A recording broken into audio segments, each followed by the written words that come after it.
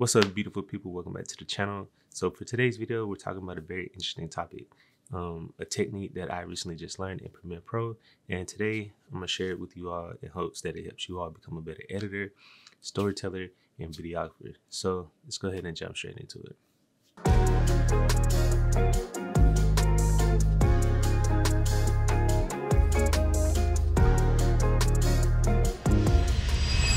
So as you guys can tell from today's title, we'll be talking about how to clean up a backdrop within Premiere Pro.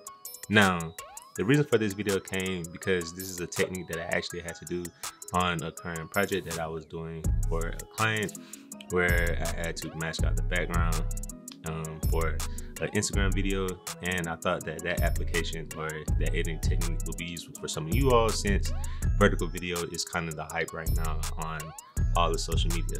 So if you guys remember our previous tutorial that we did within Photoshop on how to clean up a backdrop. And hopefully you guys remember that technique. Those same principles and applications that we learned there will sound familiar because we'll be applying some of the same techniques in here in Premiere Pro. But that's enough talking and rambling. So let's go ahead and jump into Premiere Pro so we'll show you all exactly how this is done. All right, guys, so here we are in Premiere Pro, and as you guys can see, this is my first uh, vertical timeline that we have here. And here, this top portion of our vertical video is the section that we'll be needing to extend or mask out or, you know, match with our background. So this technique is actually, for the most part, very simple and doesn't really require much. But the first thing that we need to do in order to be able to match this is create a what is this? A black video. So don't know how to do that. You're going to come here and select this new item then click black video and then you want to make sure that your video settings are correct and it will match up with this video. So here we have our width is 1080 height 19 by 20 and we're at 24 frames per second. So that's the exact same settings that we're using for our timeline then we'll just click ok and boom you see we have our black video here in our project folder. So we'll bring that drag this over and just make sure that our black video is the exact same length of our clip right so as you can see right now we don't see anything. So in order to actually create um, this effect excuse me um, so in order to create this effect I like to do is go ahead and toggle off the black video so you're able to see our background in the area that we need to mask out. So once you turn off the layer you should be able to see your video clip again but you want to make sure that you still have the black video selected right? So boom you have that so first things first when creating this I'm gonna come over to effects and we'll be typing in a few things. First is tint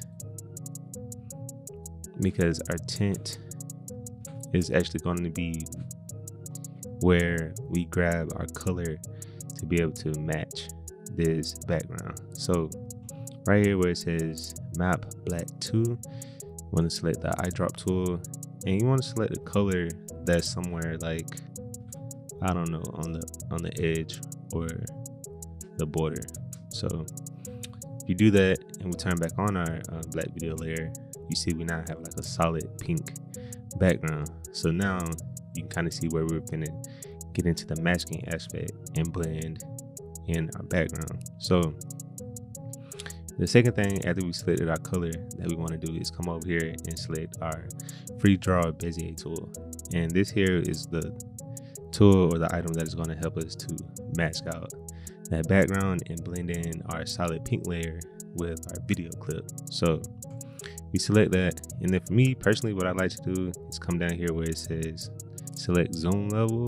I like to zoom out so I can actually see the full video and mask exactly where I want to go. So here, we're just gonna go ahead and create our mask. And again, this is on the black video, um, and not our uh, not our actual video clip. And we're just gonna create our mask and create it just just right under where we see let me zoom back in just underneath here of the uh the walls and the to. Backdrop paper just want to bring that right there. So now we turn back on our black layer or our black video. You can see now that it looks way better than from where we started but you can clearly see that oh something doesn't look right here. Like this isn't blended perfectly. So what you want to do is highlight black video. We're gonna come over here to where it says mask feather so this here is the blend between like this harsh line and if you just select and drag our mouse over you can kind of see that blend getting ever so soft and just ever so it looks more natural right? But also you can see now that we can kind of still see very subtly the uh backdrop paper. So what i like to do is come to where it says mask expansion. Is just crank that just ever so softly to where it looks kind of natural. So from right here that's pretty much it. That's how you extend the backdrop right? Everything looks like one cohesive backdrop folder and this looks fine. But for me personally you kind of want to extend and elaborate on blending this background in. There are a few things that you're able to do. So for me personally what I like to do is to go ahead and duplicate our black video and create like a vignette to just kind of help out with this harsh light that we have here. And basically what you want to do is just hold alt if you're on windows and i think it's command if you're on um, apple so yeah just duplicate that and then come to the top black video. And for here what we can do is first we can delete this mask as we don't need it. And we can also delete this tint. So basically we have another blank black video. If you didn't want to duplicate that black video that's fine. You could have just came over back to your project folder. Where is it came back over here to your project folder and just grabbed the black video and created another black video which is essentially the exact same thing that we did prior to deleting the mask and the tint. So now that you have this, so the trick, the finesse to behind this is creating another mask, but this time we're gonna do create ellipse mask tool. So we'll select that, and as you can see now, there's this black circle right here over our talent's face. So what we're gonna do is kind of just reposition this ellipse or this circle somewhere yeah somewhere like here. So all this is just all personal preference. Just line that up where you, you think it looks best. And then we're going to hit invert. So now you can see it looks like you know a vignette right but the key here is that we don't want it this whole black background. We still want to see the pink background. So what are we going to do here to get that effect is come down to where it says opacity and then just bring that down to where it looks, you know, tasteful. So I'm gonna settle right here on 12 and then also again, you can still see the difference from the vignette from the pink and the, the darker pink here and then we're gonna do is similar to what we did on our first one. Just come to where it says mask feather and just blend that out ever so softly. So now it kind of looks just like a normal background, right? But also you can tell if you're like pixel peeping the background, the background doesn't look exactly the same. So we're gonna come over there and change that. You can just come back to effects and type in levels. And this here will allow you to change the gamma shift for uh, your background.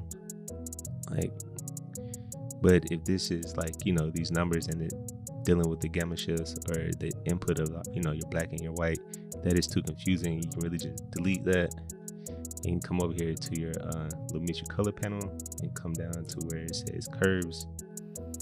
And right here where it says Luma versus saturation, just select that. And then you'll be able to like perfectly blend in that those pinks. So there you have it. That is how you edit and replace a backdrop within Premiere Pro. If this video was helpful for you in any type of way, please leave it a like so it's able to help others as we all grow in trying to be better editors, filmmakers, videographers, and cinematographers. And if you aren't already, please consider subscribing to the channel with post notifications on so you're able to be notified when other tutorials, vlogs, shorts, documentaries go live here on the channel. But until next time, peace.